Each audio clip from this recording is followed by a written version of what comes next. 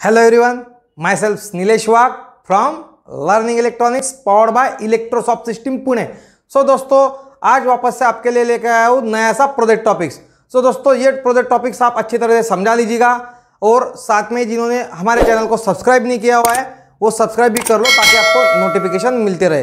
सो दोस्तों ये project topics आप गौर से देखिएगा.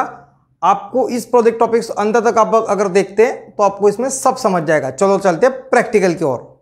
हेलो दोस्तों, मैं आज आपके लिए जो प्रोजेक्ट टॉपिक ले आया हूँ, ये प्रोजेक्ट टॉपिक है ऑटोमेटिक गार्बेज सॉर्टिंग सिस्टम जी हाँ दोस्तों, ये जो प्रोजेक्ट है, ये प्रोजेक्ट हम स्वच्छ भारत के लिए भी यूज़ कर सकते हैं। एक्चुअली जो भी हमारा सारा कचरा होता है, कूड़ा कचरा हम एक डब्बे में डाल देते हैं दोस्तों। सो ये जो कूड़ा कचरा होता है, ये ऑटोमेटिक सॉर्ट करना हमें बहुत ज़रूरी हो चुका है, क्योंकि उस कूड़े कचरे में आता है ऐसा आपका वाला मेटल या ऐसे जो कोई वेट मटेरियल अभी ये जो मैंने यहाँ पे स्पंज यूज़ किया है, इसमें थोड़ा सा पानी मैंने डाल दिया हुआ है। यहाँ पे डेमोन्स्ट्रेशन के लिए, और ये होता है ऐसे प्लास्टिक के या कोई सूखा कचरा। यानी सूखा कचरा सूखा कचरा, गीला कचरा, और आपका वाला ये थोड़ा सा मेटल सो मेटल दोस्तों मेटल हम बेच भी सकते हैं। तो ये सिस्टम्स में आपका उधर से जो भी एक साथ में एक गट्ठा कचरा जो आएगा, वो इस कन्वेयर बेल्ट पर डाल दिया जाएगा। कन्वेयर बेल्ट के ऊपर कचरा डाल दे दिए जाने के बाद में उसका सॉर्टिंग्स किया जाएगा। जो भी हमारा मेटल इस सेंसर के सामने से गुजरेगा तो ये मेटल डिटेक्टर उसे ऑटोमेटिकली डिटेक्ट कर लेगा। ये जो मेटल डिटेक्टर है, इसने जैसे इसको डिटेक्ट कर दिया तो इस आर्डिनो बोर्ड को ऑटोमेटिकली वहाँ से एक सिग्नल मिल जाएगा।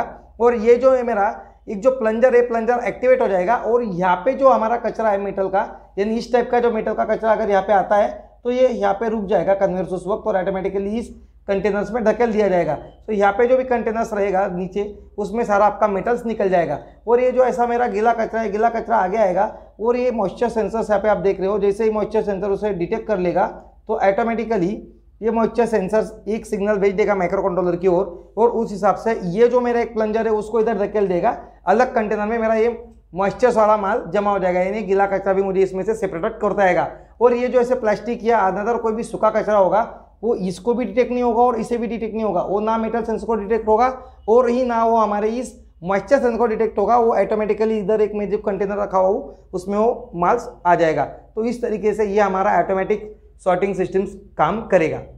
तो चलो दोस्तों, थोड़ा समझ लेते हैं इसका टेक्निकल डिटेल्स यहाँ पे हमें काम करने के लिए से जो पावर सप्लाई लगने वाला है, वो मैंने यहाँ पे S type of power supply use करवा लिया है। इस एसएमपीएस को अगर मैं यहाँ से 230 वोल्ट एसी का सप्लाई देता हूँ तो ऑटोमेटिकली ये जो एसएमपीएस है ये एस एम बेस्ड सिस्टम्स मेरे इस आर्डिनो बोर्ड को ट्वेल्व होल्ट देना शुरू कर देगी। वो जो ट्वेल्व होल्ट है, वो ट्वेल्व होल्ट इस एस एम से डायरेक्ट आर्डिनो बोर्ड्स को मिल जाएगा। आर्डिनो बोर्ड्स में छुपा हुआ यहाँ पे एक जो seven eight zero five I C है, वो seven eight zero five I C इसको ऑटोमेटिकली पाँच होल्ट सेवन नंबर के पिन को और आठ नंबर के पिन को ग्राउंड देते रहेगा।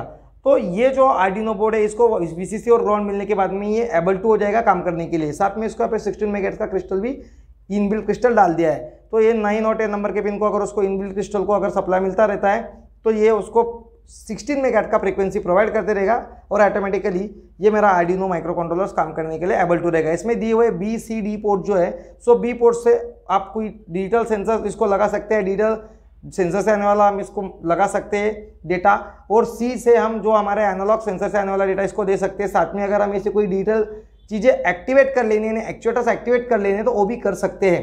तो यहाँ पे हमने एक्चुअली सी पोर्ट्स के ऊपर इस जो मेरे मॉइस्चर सेंसर से आने वाला एनालॉग सिग्नल दे दिया है। साथ में इसी सी पोर्ट से मैंने मेरा वाला एक रिले भी ड्राइव करवा लिया है, जो कि मेरे मोटर्स को यहाँ पे कंट्रोल करवा रहा है। और ये जो मेरा दूसरा एल टू नाइन थ्री नाम का जो IC L two nine three नाम का आईसी यूज़ किया मैंने मेरे दो प्लंजर मोटर्स के लिए। ये प्लंजर मोटर्स ऑटोमेटिकली एक्टिवेट होते रहेंगे सेंसर के हिसाब से।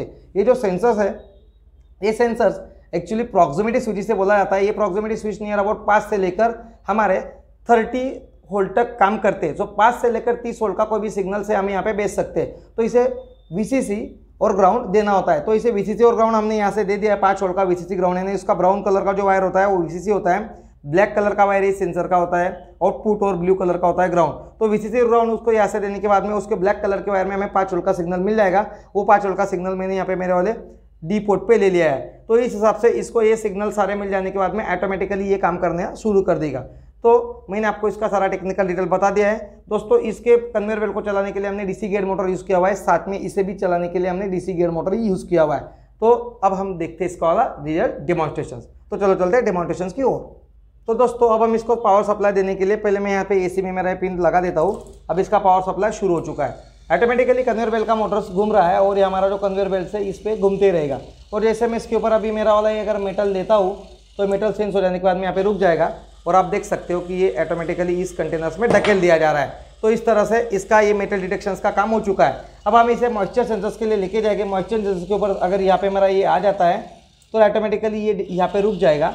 और ये जो एक है, उसको मॉइस्चर्स के लिए उधर धकेल देगा। मॉइस्चर्स वाला प्लंजर भी काम करवा रहा है। अभी वापस से बेल्ट शुरू हो जाएगा और उसके ऊपर से अगर ये मेरा गुजरता है तो ये चीज़ कहीं पे भी नहीं रुकेगी, ये डायरेक्टली इधर गिर जाएगी हमारे तीसरे कंटेनर में। तो इस तरीके से इसमें हमने यहाँ पे जो भी आएगा तो मेटल यहाँ से सेपरेट हो जाएगा। इस प्लंजर के माध्यम से यहाँ पे जो भी आएगा मॉइस्चर्स के रिलेटेड मटेरियल्स वो इधर सेपरेट हो जाएगा, आप देख रहे हो। और जो पूरा सूखा कचरा है, वो इधर आ जाएगा। तो इस तरीके से मैंने आपको टॉपिक्स हंड्रेड परसेंट कंप्लीट कर दिया है। आशा करता हूँ आपको अच्छा लगा होगा। सो दोस्तों, इस तरीके से हमने प्रोजेक्ट टॉपिक्स कंप्लीट कर लिया है। ऐसे प्रोजेक्ट टॉपिक देखने के लिए हमारे चैनल को लाइक करें, सब्सक्राइब करें और घंटी घंटी का बटन दबाना मत भूलें ताकि आपको नोटिफिकेशंस मिलते रहेंगे बाय दोस्तों।